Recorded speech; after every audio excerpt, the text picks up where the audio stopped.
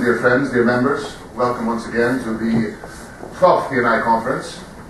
As you all know, the Piraeus Marine Club has a very long history in organizing this conference. Right before the renewals, this year's renewals being more of a re-rating instead of a renewal. For those of us who started the negotiations and are not very happy with what's happening, um, a lot of things in the uh, mutual insurance industry happening which are of great importance to us, the users, members, mutual members, and owners of the clubs. Um, I'd like to thank Mrs. Prevezanou for organizing the seminar once again.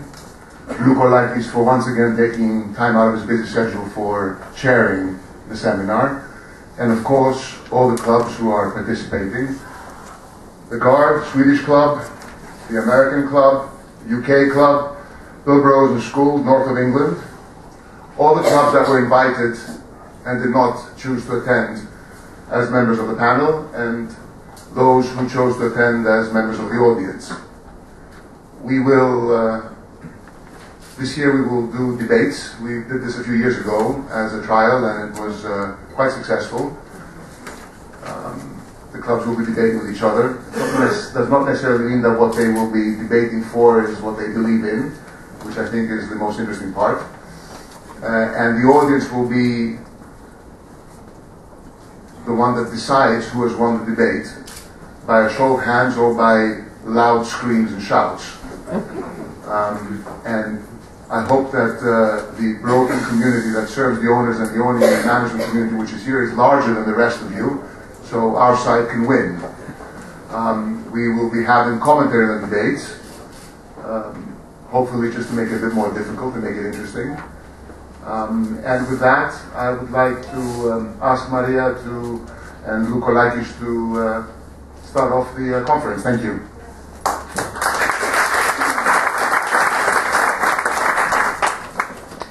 Good morning, ladies and gentlemen. I would also like to thank you all for being here today, this very busy time of the year, and for making this event uh, possible. This year's seminar takes place at a time where it is very uh, challenging for both clubs and owners. On the one hand, owners are operating in a freight market that barely enables them to cover their operating costs, and on top have to deal with banks who are seeking to apply drastic measures so as to secure their mortgages. On the other hand, the churn effect has heavily struck clubs this year, leaving them with newer tonnage which generates slim premium. The problem is aggravated further as both the number of large-scale claims below clubs' retention and pool claims are rapidly increasing at a time when clubs are required to operate in a stricter regulatory environment. this has led clubs to look for hefty increases and re-rating of vessels, with their members vigorously resisting same. Not forgetting the icing on the cake, the recent heavy RI increases which were advised. The current state of affairs reminds us of a game of chess where both sides focus on victory and carefully make their moves. Unfortunately, should both sides remain adamant, then there will be no winners, but only losers as the result, as the result would be disastrous for the uh, system. A compromise should be sought in order to find a solution somewhere in the middle, as this would be in the best interest of all parties concerned. One wonders, though, is this the year that the clubs should use their free reserves? I hope that this seminar will meet your expectations. Thank you for attending once again, and I will hand you over to Mr. Chairman.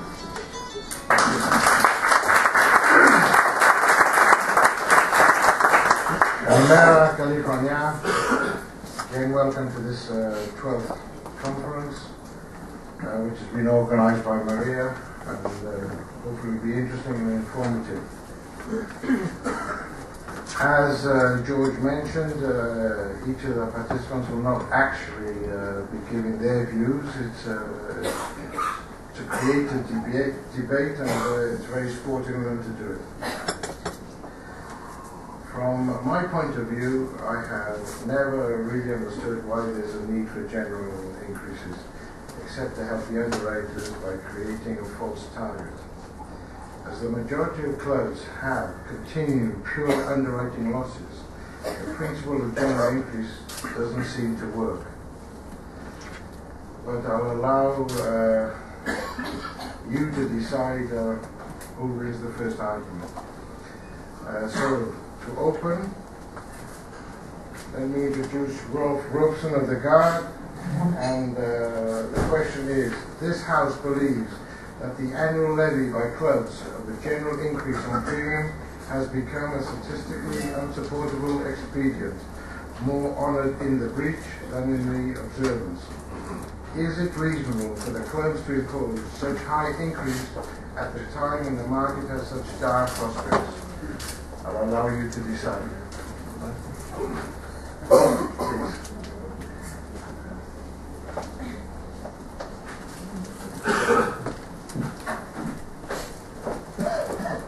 Uh, thank you, Lou. Uh, maybe we should get uh, the presentation up on the screen as well. Uh, it would be nice. it would be nice. At least you have God.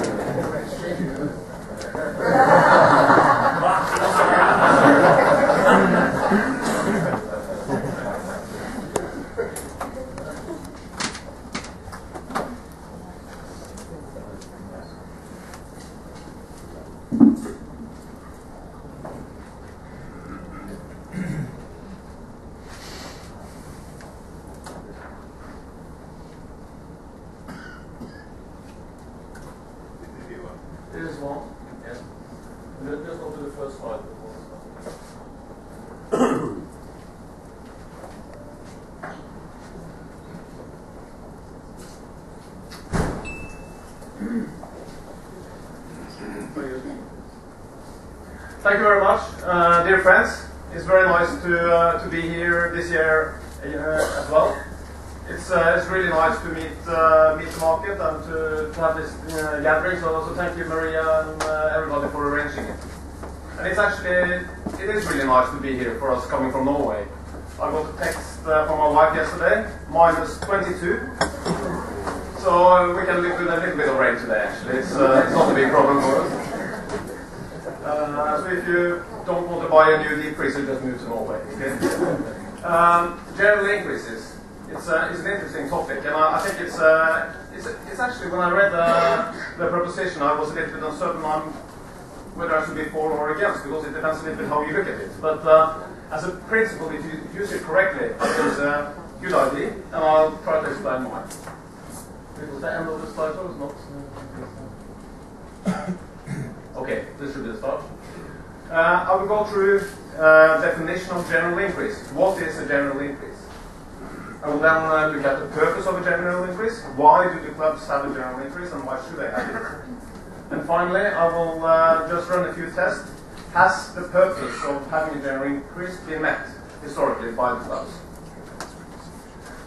So what is a general increase? I think uh, there is uh, different views on that among clubs, but uh, my view and Gard's view is quite clear. General increase is an average premium adjustment you need for your portfolio to meet the target set by your board. It's not the figure everybody should get. There has to be made individual adjustment for loss records. It has to be made individual uh, adjustment based on the premium level you have compared to your expected exposure in the future. But the general increase should be the overall target, a transparent target for all the members in the clubs to know that this is the average premium increase we will have in our club for this renewal. Some will get more, some will get less, but the average should be the general increase. What is all the purpose for having a general increase? Uh, I think uh, maybe the most important one is that we need sometimes to adjust for inflation. Claims have been increasing over the last years, and that is the purpose to adjust the premiums to reflect the claims inflation. Then we need a tool to achieve sustainable underwriting results over time. As mentioned in the introduction, all clubs are under regulations from regulatory authorities, and we need to have a sustainable underwriting result long term to be a choice for you, a stable choice long term. And finally, I think an important purpose is that the general increase is actually a transparent way of communicating to your members that this is actually the status of our club. This is, this is what we need to do together to meet targets in the future. Let's first look at the claims inflation. This graph shows the development of the size of the average claim in Gard for the last 10 years. The red line shows the three years average, the gray line shows the one year average.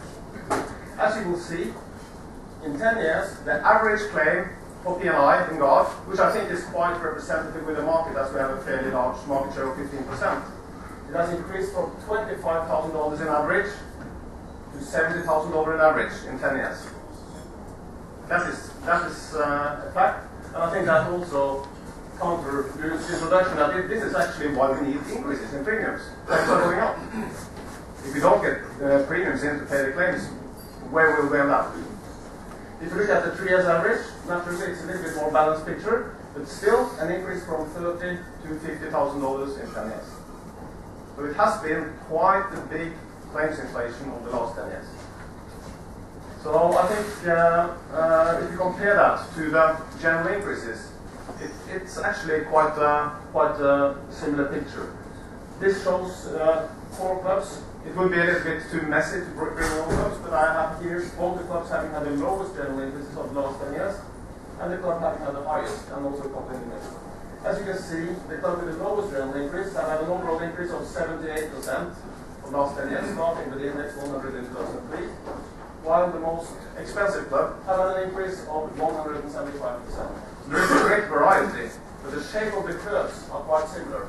And if you remember from the from this uh, um, from this one, there is a peak here, and there is a peak here on the development, and that has actually been very much reflected in the general increases of the clubs.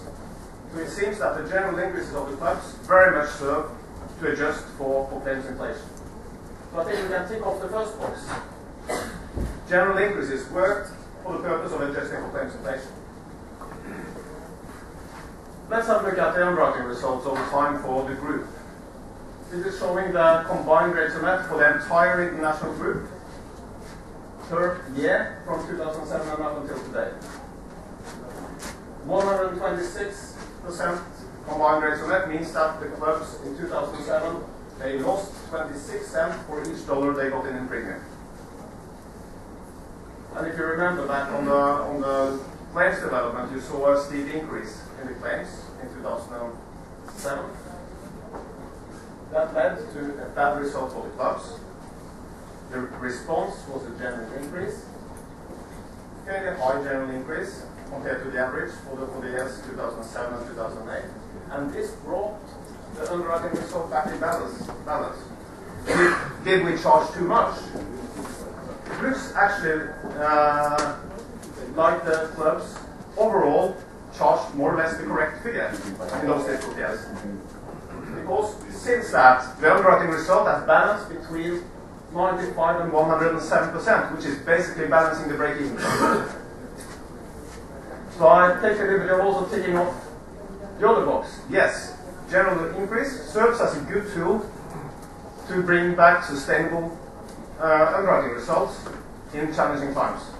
And the clubs don't seem to overdo it actually. Overall, as a group, it seems to be quite right. Then let's move to the last purpose, which I think is important, because we are all mutuals. We should have transparency in our clubs, and you should know the background and all the details in your club. Uh, I've made an analysis of uh, the last two full policy years, 2010 and 2011, but uh, the two full policy years where all the clubs have already released their accounts. I have looked at the general increase uh, for those two years together. That is the black uh, bars. And I've also looked at how has the average rate per GT developed in the clubs during the same period. Uh, I think it's reasonable that the average rate per G GT develops slightly less than the general increase. The background is that the world fleet is developing. Old small ships are being uh, scrapped. New nice big ships are coming in.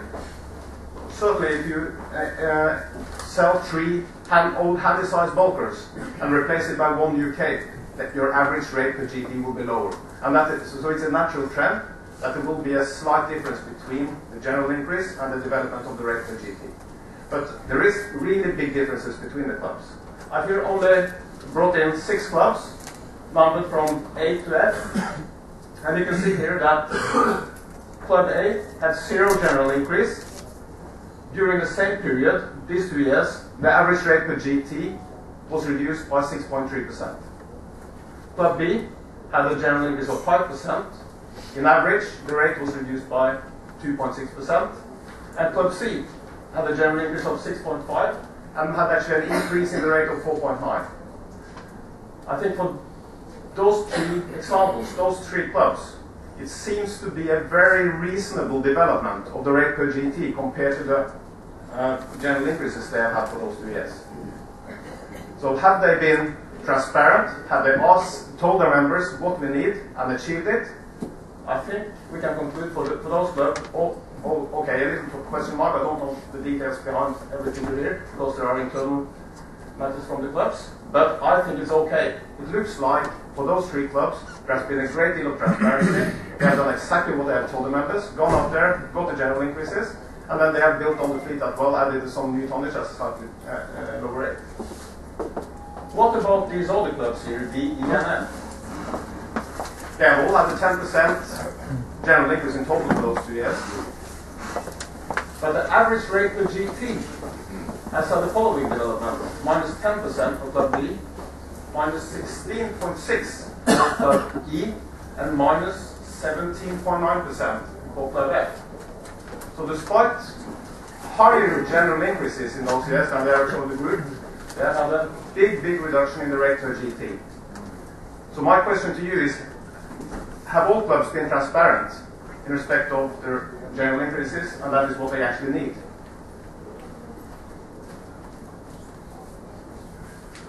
If I were a member, I think I would have asked them, what have you done here? How have, are you paying 10% increase for a break-even loss rate within this club? Then it looks like somebody, somebody else has got a better treatment. Maybe there's not been a great deal of transparency in respect of the premium policy in these clubs. So to conclude, I think general increase, if used in the right way, is a good tool for the clubs. Because we are mutuals, we need to adjust for claims inflation, we need to get the underwriting results right over time. Whether it is a good tool to, uh, in the mutual to show transparency, it's a question mark. In some clubs it seems to be, in others it's, it's a big question. The only group which can do something about this is actually you. You are the board members of the club. You are the ship owners deciding on your renewal agreements. You can challenge your clubs to make them transparent. That concludes my presentation.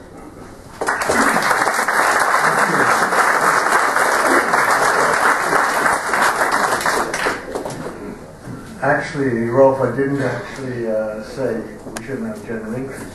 I just said that we were just helping you guys do the underwriting for you. Slightly different. so, and now against the motion, George Nilsen of the Swedish Club. We need the IT cap here? Yes, please. Has he gone on holiday? Let me just see.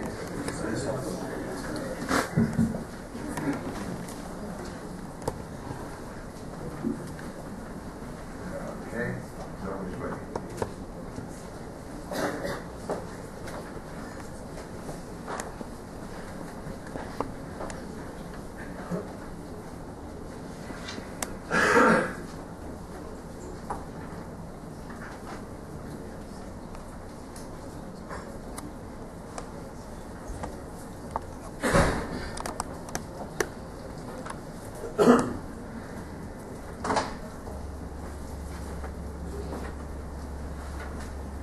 That's, no.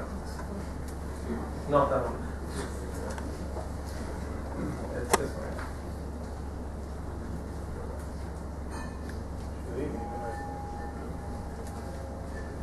That one. Yeah, Just have to go to the first slide. No, that's not Gustav.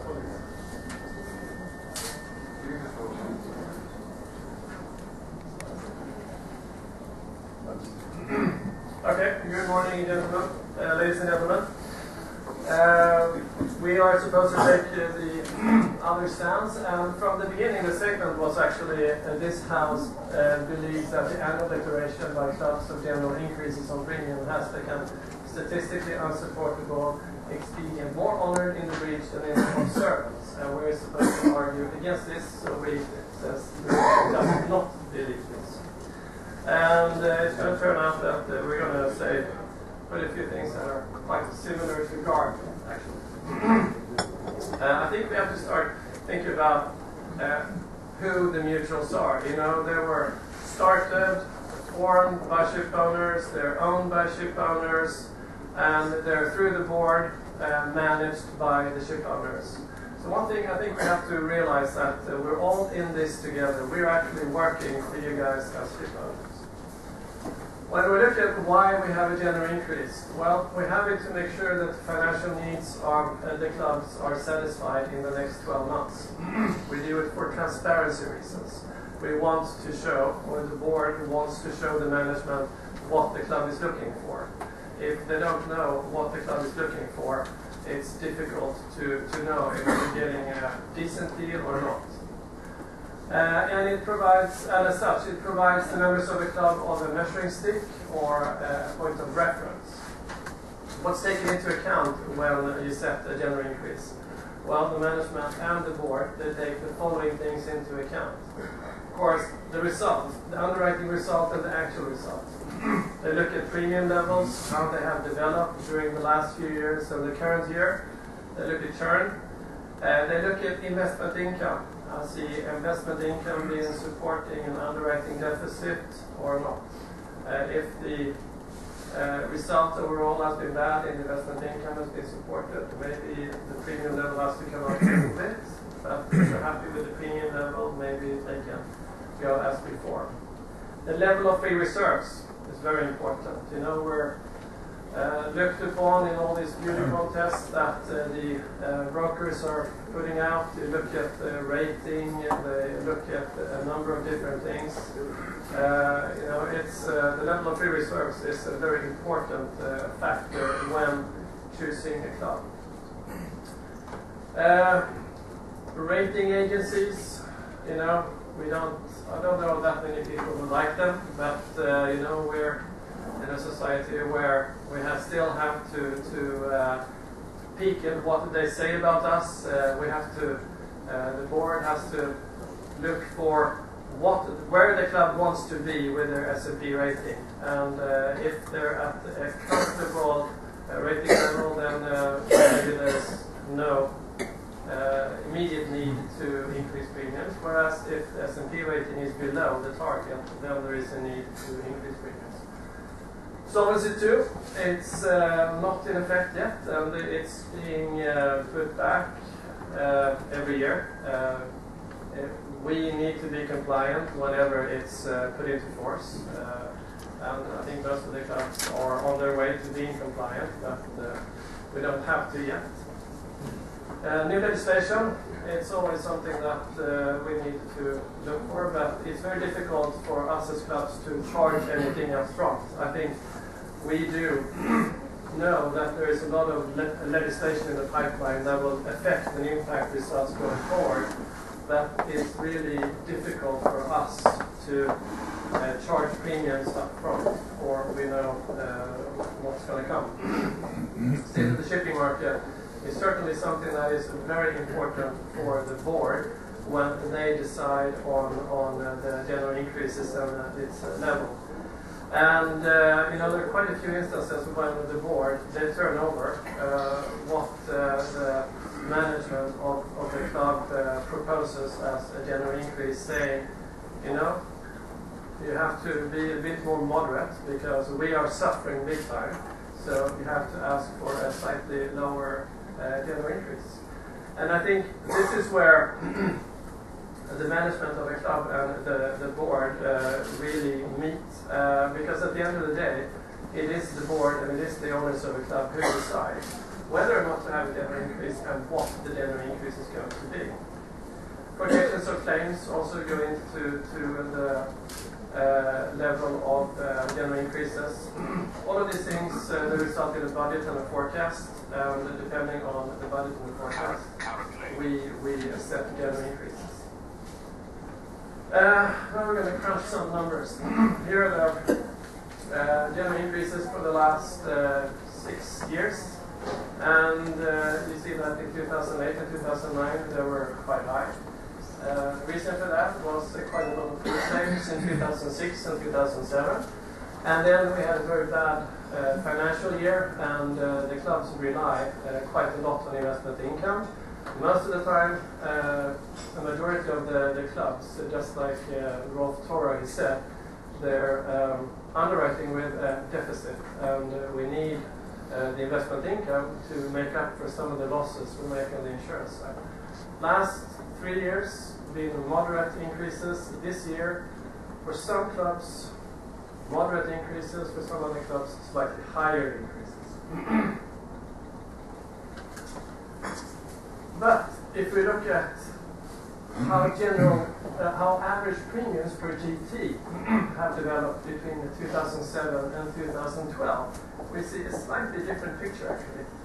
we see that there's only one club that has significantly increased its average premium per GT, and that's the Japan club. But they came from extremely low levels. We have a few other clubs uh, that uh, have similar uh, average premiums per GT than, uh, in 2012 compared to 2007. Uh, um, and uh, some of them, I think ship owners is a slightly extraordinary case. They insure a lot of smaller ships, so they can really not be compared to the others. Um, there are other clubs who have not reduced the, the premium, the average premium per GT as much as others, but they also came from very low levels. There are some other clubs who have reduced the premiums per GT quite a lot. So cannot say that that uh, the clubs are charging too much. Of course, we see that there's a lot of older tonnage that has been phased out and a lot of new large tonnage that have come in. But at the end of the day, uh, overall, the average premium per GT has come down quite significantly. And here you see uh, a slide on what the average premium per GT in at the end of 2012 was. And uh, you see ship owners, they stand out on the high side, but uh, few clubs at the bottom, they're actually the clubs who have the highest general increases this year and then you have a big pack in the middle. You have some clubs uh, that are charging slightly higher. Uh, some have kind of different exposures than others. In American clubs, they have a lot of uh, exposures to uh, American liabilities, and uh, some of the others have a lot of cruise vessels. So that may explain why they're slightly more expensive. also, an analysis here uh, of the growth in GT compared to the growth in overall premium. And you see that for most clubs, uh, the growth in GT has uh, ran away from the growth in premiums. Uh, some clubs have grown tremendously, and uh, their premium base has grown as, as well, but uh, not as as, uh, as much as the growth in GTs. Look at free reserves. free reserves uh, have uh, developed, this is free reserves per GT, and uh, they have uh, developed very differently for the clubs in this uh, period. Some clubs they have uh, added on to the free reserves per GT quite a bit. Um, reasons for that, some came from very low levels, other ones came from higher levels. We have three clubs with lower uh, per GT. And we have uh, most of the clubs they have uh, higher per GT. Uh, this line here is an imaginary inflation. It's, it uh, shows inflation of uh, two percent per year. Free reserves per GT. Um, we discard ship owners, we see that there are five clubs with free reserves uh, per GT over four dollars.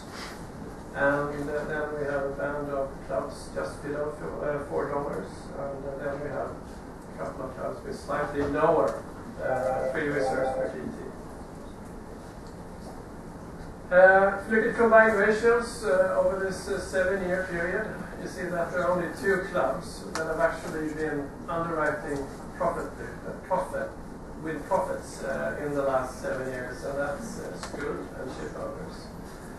Uh, the other clubs have actually been losing money, uh, uh, whereas they've been able to make up for some of this uh, from investment income from their investments. So at the end of the day, uh, why should we keep the general increase? Well, I think it's a good measuring stick or a point of reference for members. Uh, just like uh, Rolf Torres said, it addresses claims inflation and it uh, actually allows the boards to keep checks and balances on the management and it safeguards the financial obligations being met and the survival of the club. And I think that uh, even in a world without the general increases, we would be looking and talking about the same issues as we're talking about now. Are the clubs charging too much? Should they be more considerate uh, towards the ship owners? Uh, but the increases are clubs. Uh, in, the increases are the club's way of being transparent and a way for us to treat our members in a fair and equal way. And uh, you know, it's actually up to the boards of the clubs to decide whether or not we should have the general increases as we have them and set the level.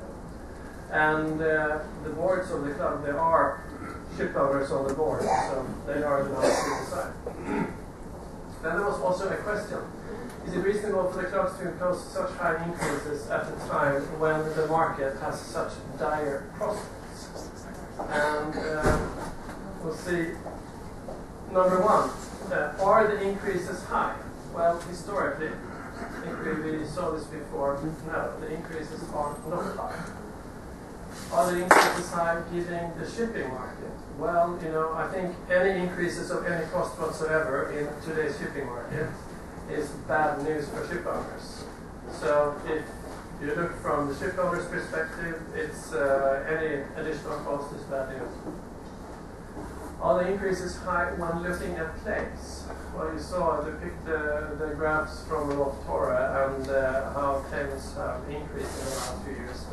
Also seeing in the last two years a lot of really, really big claims. And these claims, they have to be paid by the clubs. And they have to be paid by the mutual membership of the clubs.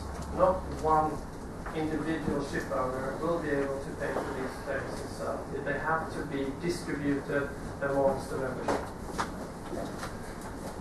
And if we look at uh, an average premium and we look at what we pay uh, in uh, reinsurance costs, as much as 40 to 60 percent of the average premium for, clubs, depending a bit on, what the average premium is, actually goes to RI costs and pool costs. So what's left over to pay claims within retention is actually not that much.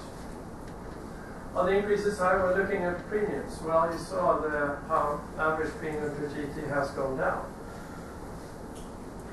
Are the increases when looking at exposures and uh, liabilities in the next few years? You know, there is a horde of new legislation that will take effect in the next few years that will just increase liabilities on ship owners and that will, mean that we have to pay more in claims. Claims are just going to become more expensive in the years to come. This is how we're looking at free reserves. Difficult one. Um, for some, maybe. For others, no. And uh, it's actually up to the boards of the clubs to set targets of free reserves for the clubs and then decide upon uh, if uh, some of the losses that the clubs are making should be taken out of the free reserves or if it's going to be made up for by general increases. Uh, so, is it reasonable for the clubs to impose such high increases at the time when the market has such dire prospects? Uh, in our view, uh, we have more no's than yes, and uh, at the end of the day, uh, we think that for the most part, the, the P&I increase for 2000, 2013 and 14 seem to be quite reasonable. And uh, I'm sure that the people that sit on the boards of uh, the international group clubs, they will not let the management of the clubs ask for more money than they need. So we're in a difficult predicament, uh, both for the clubs and uh, for, for the owners. It would be nice to be a magician, pull out your hat and start pulling out dollar bills and not have any genuine increases. However, unfortunately, we are not magicians. Uh, we haven't found uh, the perfect recipe for doing this. We're actually hard at work for our members when they have big casualties that uh, uh, you need for us to attend to. We are there physically, we're there servicing you, and at the end of the day, we're also there to pay for all the costs that you have. Thank you very much.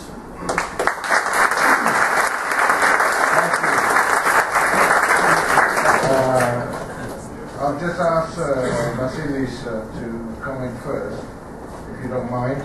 Uh, you can, yes, if you like to go. Well, I would just make a few comments. First of all, the boards meet two or three times a year. It's almost impossible for them to dictate to the management on these increases. I mean, when you meet and somebody's telling you that uh, we've got these immense losses, then uh, how are you going to vote that there's not to be an increase? I mean, it's just impossible. The other point I don't quite understand, if we had a reduction of the average premium for GT, they've all come down. How does this correlate with the underwriting losses? Some owners must be paying far more than others. I understand the churn effect, but clearly it's not a fair playing field. Sorry, Vasily, please. Uh, Thank you, Mr. Chairman. Uh, I'd like to make uh, two points of my own before commenting on what we we just heard. Uh, The first comment is regarding the actual uh, issue of the general increase. Um, I personally see the general increase more like a market-based mechanism, MBM, as is known in the industry, from which uh, individual uh, members are then charged an increase or a decrease, uh, depending on their record. So I think the actual point of the general increase is more of a reference point rather than an actual policy, a tool used to collect uh, more premium. Uh, I think that we all agree that a general increase has never ever been met. The general increase target has never been met by a club. It's either it's usually a lower number, a lower percentage than what uh, the boards are uh, targeting. So that's my my uh, comment on the first part of the of the uh, of the topic. The second part is uh, whether this is a reasonable uh, time to ask for general increase. Unfortunately, it isn't. But the bottom line is that you know I think that most of the clubs missed their opportunity to charge the proper premiums when the markets were doing very well. And unfortunately, like banks, they were just uh, you know uh, competing against each other. Who's going to give the lowest premium in order to attract all these lovely, large new building tonnage, which was and still is coming onto the market.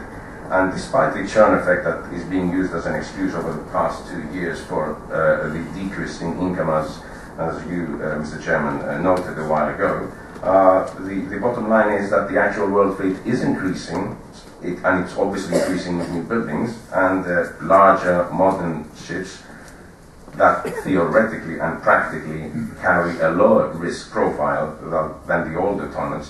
Therefore, going forward, we're going to be faced with a larger world fleet, which is almost double what it was six or seven years ago. So we're not really talking about an increase, we're talking about, really about a doubling of the world tonnage. So at the end of the day, I think that the, the clubs really need to look hard at the new profile of the world fleet they, uh, both gentlemen uh, who spoke earlier uh, mentioned larger modern ships, and usually larger and more modern ships carry historically a smaller number of claims. Than the smaller ships and the older ships. So we really need to understand how can a general increase, despite the inflation uh, that was that was mentioned and which is a, which is a, an issue. No one mentioned anything about investment income, and investment income is there to supplement usually a shortfall in underwriting. So I think these are two points that uh, should be addressed uh, by the speakers and obviously by George, who's going to uh, also comment. Thank you.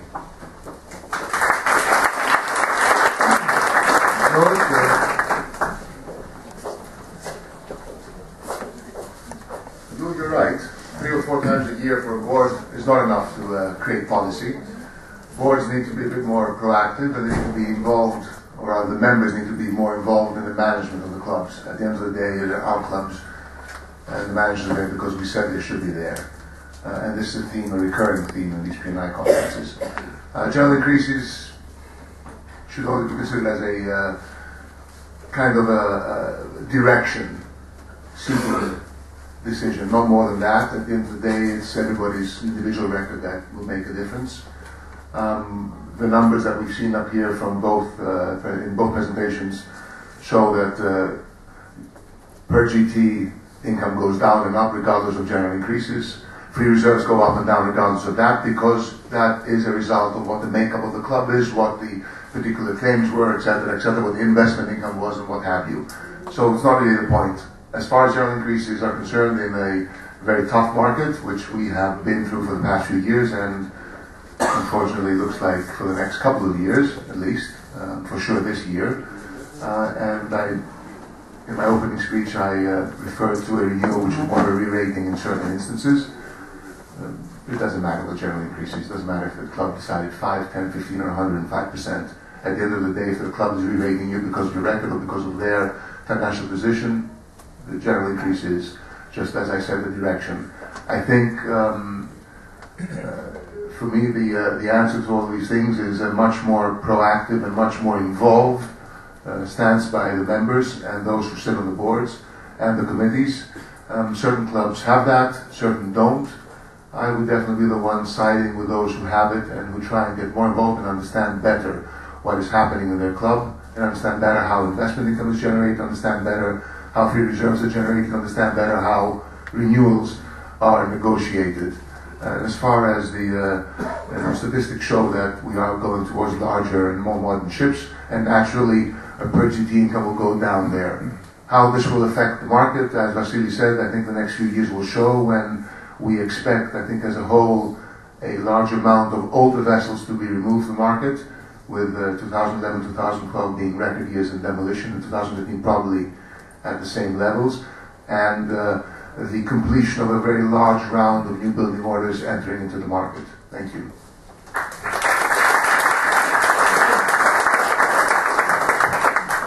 Fine. Uh, would the panel like to answer any of the comments? Yeah, Please. Is this working? Yeah. Yeah, very good. Uh, just a few comments to uh, to um, to the comments. uh, uh, you said that uh, clubs are never meeting a general increase. I can just confirm that uh, at least the club I know best uh, have met the target the last 10 renewals. It is uh, closely followed up by the board. Uh, first of all, they are setting the target for the renewal prior to renewal, and then in the first board meeting after the, the renewal, there's a thorough uh, uh, uh, analysis of the results from the renewal. And I'm happy to confirm that for the last 10 renewals, the target has been reached. I'm sure that's also the case with other clubs, because when you saw my analysis, there are actually some clubs which even have a smaller gap than Gard between the general increase and the development of the tonnage. So I would expect those clubs also to reach the target. So at least those three clubs which were up on the screen there on the left-hand side of the slides must have reached the target. Uh, regarding investment, Can I also comment on this? Yep. Uh, I, I think it's interesting to hear that uh, many people they want the, the clubs to adhere to the general increases and they want uh, the targets that are set by, by the board to be uh, fulfilled at, at, uh, after the renewals. And uh, we have also uh, delivered uh, the general increase to the board. Uh, same thing goes for, for the Swedish club. We have to deliver a certain number to the board. Uh, but when we are out talking to our members, that is not what they want to hear. You know, they want, of course, uh, individually, they all want uh, better treatment than the general increase. Nobody wants to pay more. However, we are asked by the board to deliver a certain amount of money. So although we hear that the clubs need to get the general increase, uh, we also hear on the other side that that uh, the, the members want flexibility, but it's very difficult to combine the two. If we are going to get the general increase that the board has imposed, we need to be very firm, and I think uh, for the most part we are firm. And uh, members with good records, they get a slight uh, decrease, and uh, the members with, with bad records, they get a bit more. But at the end of the day, we have to deliver a number to the board. Uh, I would, I would also like to comment uh, upon two other uh, points made. One is the investment income, and uh, certainly uh, you are right. The investment income is a very important part of, uh, of the income of the clubs. It shall subsidize the underwriting deficits, and it has done over time. Unfortunately, we are, for the time being, in a very low interest environment, and we cannot expect the same fueling from the investment return of the next five years than we had, for instance, in the period between 2000 and 2007. That's just uh, a fact, and that has also to be reflected in the premium. So if the clubs should meet the regulatory requirements, we also have to lift the bar slightly when it comes to the uh, target for the technical underwriting results. We cannot live with a 115, 120 combined ratio net return. It has to be closer to 100 these days with the current interest environment. And, and finally, just uh, regarding the, the, uh, the, number of board meetings, I think uh, that is very different from club to club. Some clubs have a, uh, two board system where they actually have a, an executive board uh, appointed by the board, which meets on a much more regular basis than two or three times a year. Uh, at least I know certain clubs having meetings up to six times a year. So that varies from club to. Yeah, that's true, but I mean, uh, it's difficult for sort of a five, six man committee to represent the boards of 30 people, you know, and their views. On the investment side, you're correct, but I mean, that again is being created by the Solvency II requirements so that we can't invest really in uh, too much equity or too much possible uh, factors that may increase the investment return. So we're within these sort of 2 3% return levels, which actually equates on premium uh, terms to about 9%, because generally the reserves are three times the uh, amount of premium income so you can multiply by three as an example. So it should, it should help, uh, and certainly did help in the old days. But again, you know, with everything you said, you know, everyone's meeting their general increases targets, yet the average uh, premium for GT is coming down. So it means that the new people coming to the club must be paying far less than the old people and therefore the churn effect is going to take over. I mean, uh, by definition, it must be correct.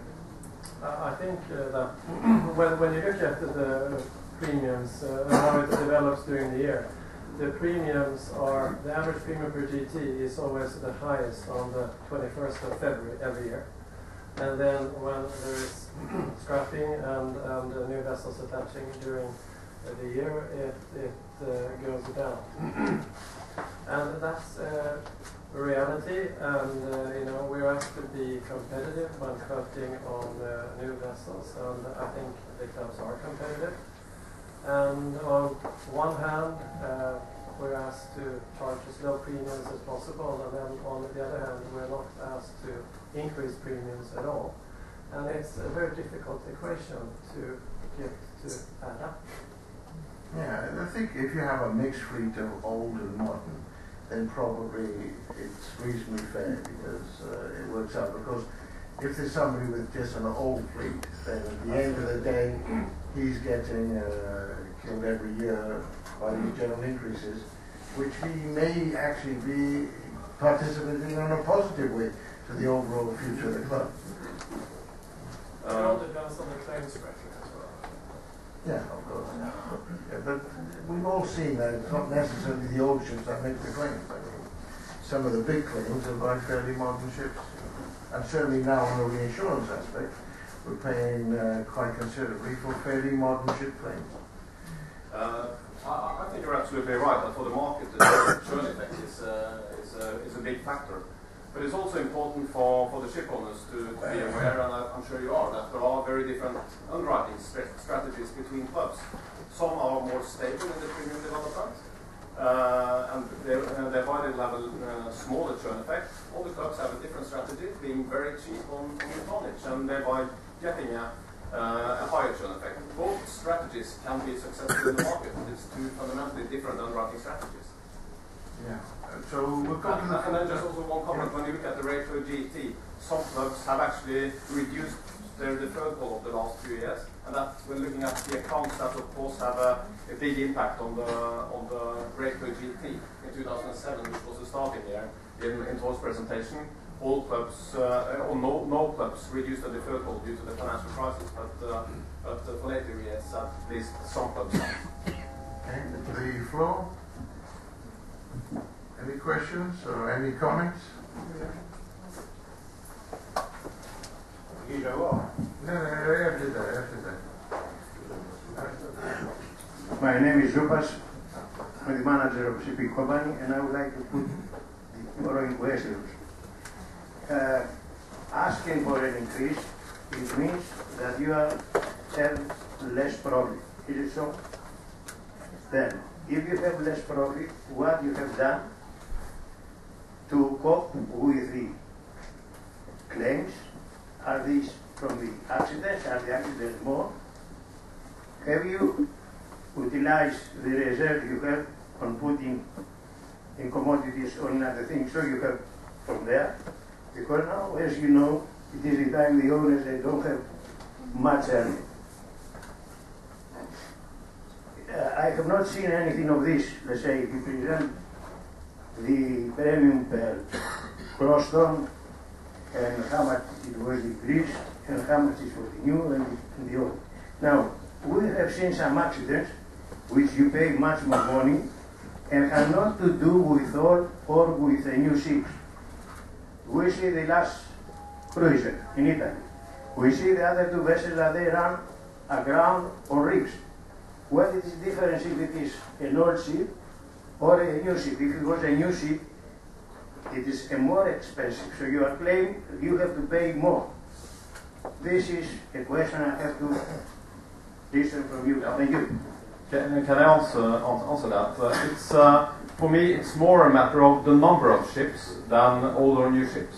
But uh, when we see the structural change in the world fleet, it's the small, older ships going out replaced by fewer new ships. So if you have three handy-sized vessels, it's a bigger chance for a grounding than if you have one cape size. It's more to do with the size and the number of ships than the actual age when it comes to navigational claims. Yes, but you have now the figures. How many are the small ships and how many are the big ships and how much is what you have paid? Uh, just uh, th- th- this is a little bit on the, from the back of my head, but uh, as far as I can recall, just looking at the average size of the ship in Gard, it has developed the last 12 years from approximately 14,000 gross ton per ship to 20,000 gross ton per ship. There has been a dramatic increase in the average size of the vessels uh, for the last 12 years. And, uh, and that is a, so, so it's a natural consequence of that, that the average rate per GT goes somewhat down. So let's say the accident, the claims are the need for you to make a house. Is it so? Yeah. Uh, if, if, if you remember the two slides I shown with, that, with the results of the international group in total for the last four years, the underwriting result has been actually quite stable. It has balanced around uh, just just above 100%. So the reason now for a general increase is the claims inflation. Okay, thank you.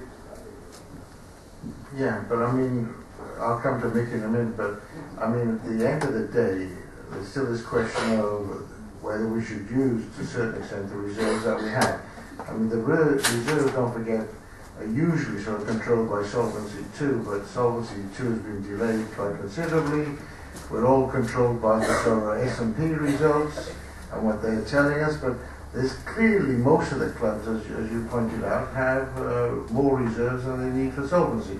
So they could actually, at this particular time, use some of the reserves if they show shows. That, uh, that, that, that's right. And uh, for instance, what, what uh, the Board of Gard has done is they have set an upper target for the free reserves. If that is exceeded, money will automatically be paid back to the members. During the last three policy years, we have altogether uh, re returned 80 million dollars to the members as a reduced uh, as a reduction in the in the fourth installment of the premium. So we uh, we have actually set a target. If it exceeds, money will be returned. And please also remember that uh, when we had the financial crisis back in 2008, basically all clubs really made use of their free reserves. Some clubs uh, reduced the free reserves significantly. A few clubs asked for additional calls. But uh, that was uh, an example of a year where, where, we really used the free reserves, and there needs to be a certain buffer to meet those kinds of really special special years, as time. I'd like to add uh, one, one, one more thing when it comes to uh, the shipping market. We can't forget that uh, after the Olympics in, in China, uh, that's when the downturn of the market happened. And uh, the end of 2008 and the beginning of 2009, we were was very bad times compared to what, what they were. And I think uh, the boards of the clubs have since then you know, really tried to keep increases at a minimum. And I think that the club have done what they can to, to support the members.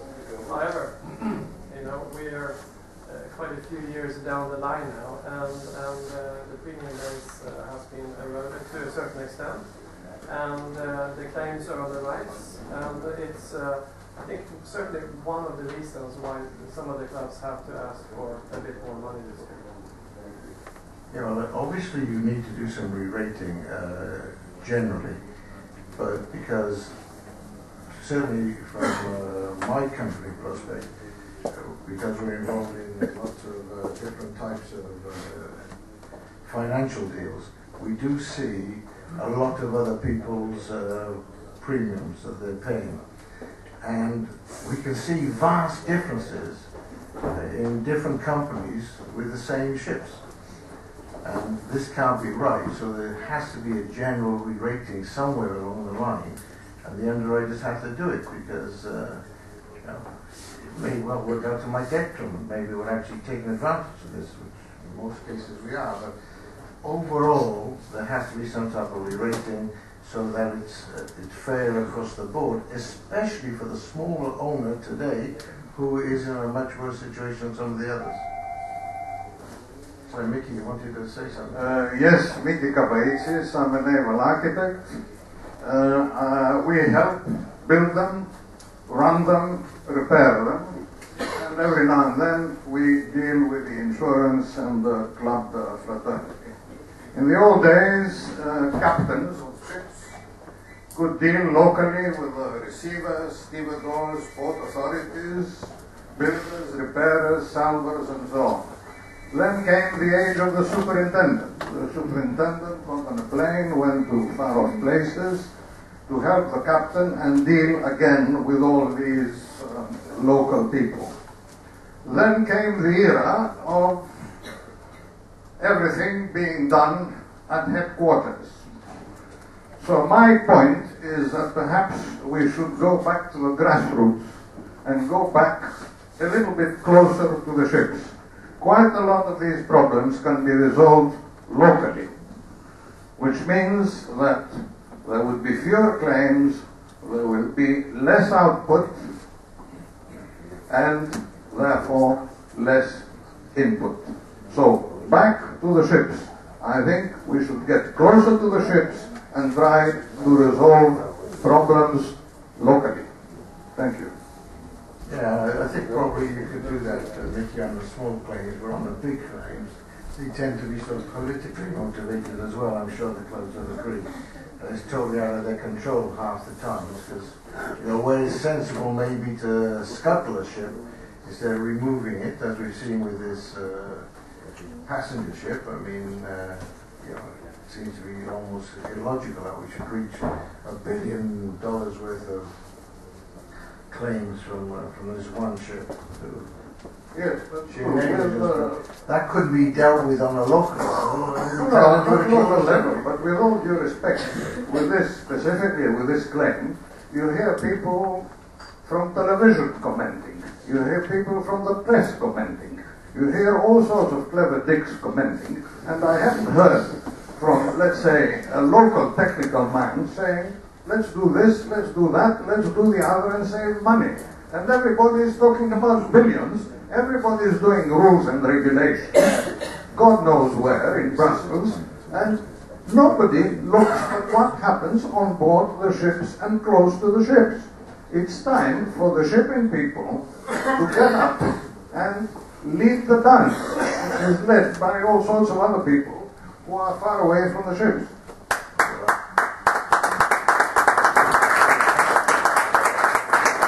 The the to they want to.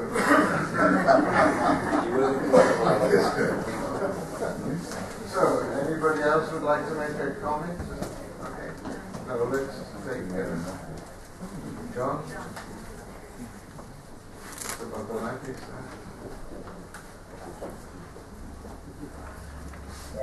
Hi, um, Jens Bozanakis from Chartworld. Um, my point is, I think um, premium distribution of premium cross members should reflect distribution of risk, and I don't think this is actually achieved um, in reality.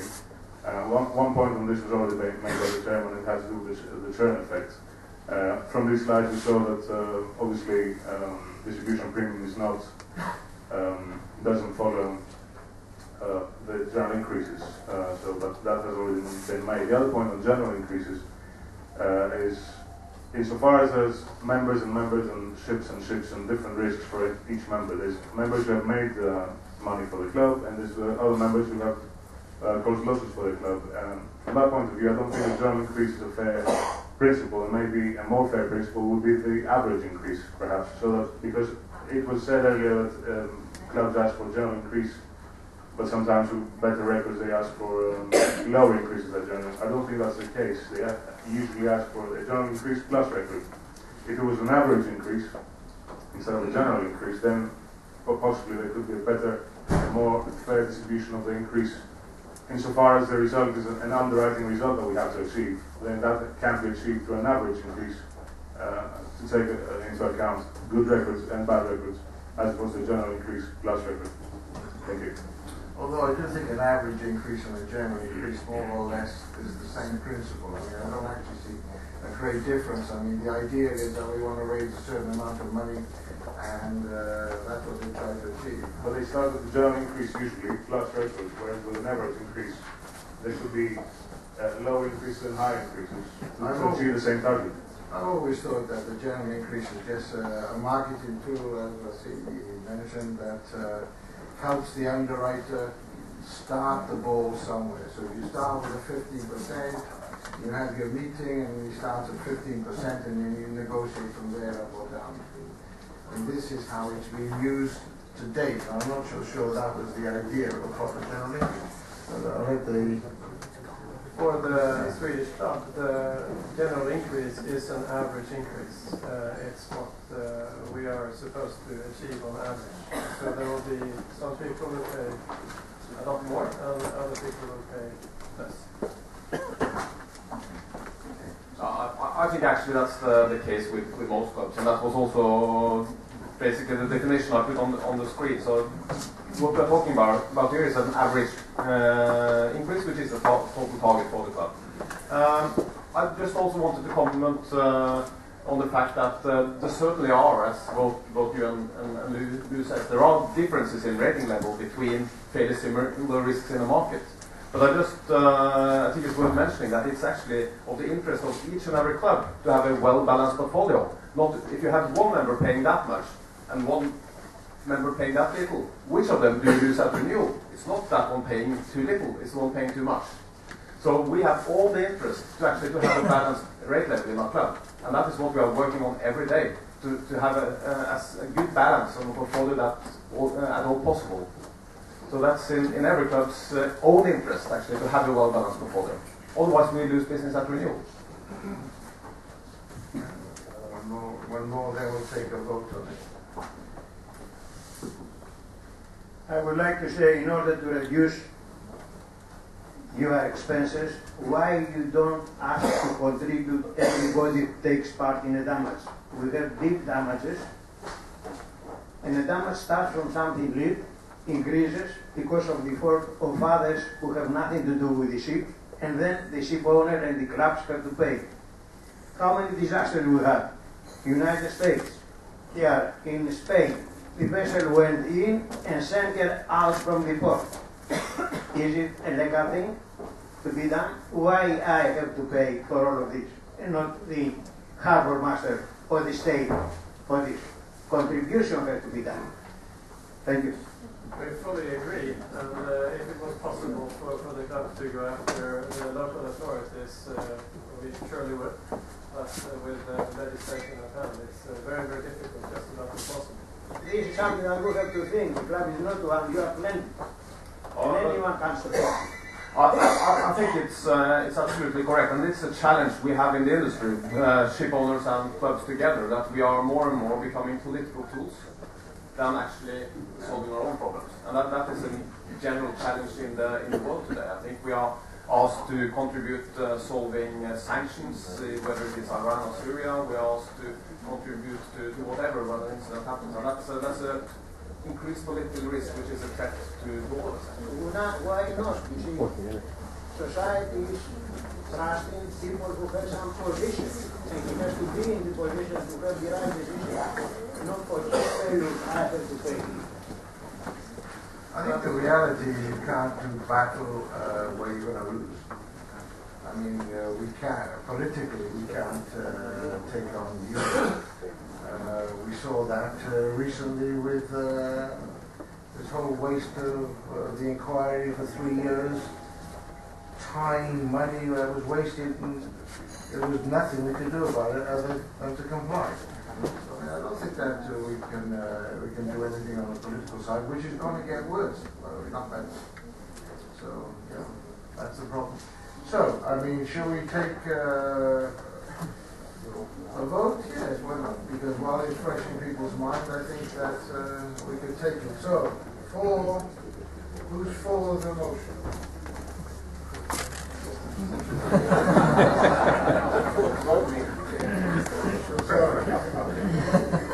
Do I take everyone's against it? Might have a show of hands for against the motion.